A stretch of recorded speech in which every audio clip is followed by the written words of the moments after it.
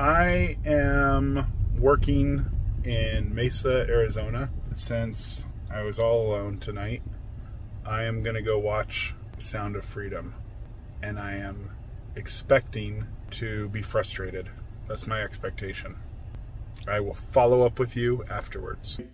Was thankful that my phone died in the middle of the movie because I didn't want to get on here and do a cry video, but all I could do was weep after watching after watching the movie. And I, I always feel like people that do videos are crying is like, you know, this manipulation thing.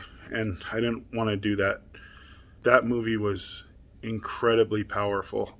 I couldn't get up and leave after the movie. Like the movie was over and I was the last person out of the theater. Jim Caviezel makes makes movies you don't want to see, but movies you should see. Right? Like nobody goes, "Oh, hey, do you want to watch Passion of the Christ?" Nobody wants to watch The Passion of the Christ. But you should watch The Passion of the Christ because it's a powerful movie. Same thing is true with Sound of Freedom. I don't really want to go see that movie, but it's an important movie to see and I if if man, I'm like getting emotional. Like, please, please go watch this movie when it's in theaters. There's a message from Jim Caviezel at the end that is incredibly powerful. This is a movie you don't want to see, but you need to see. And I don't even know how to process a lot of the stuff. This is a movie that's going to sit with me for weeks.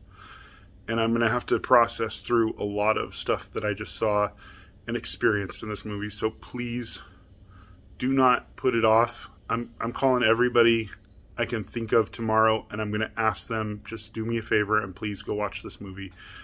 Um, men, if you have families, maybe take a solo day and go watch this movie. D don't take the kids. Even even my wife, I think, would have a really difficult time with this movie, and I think it would have been more difficult for me to watch with her there.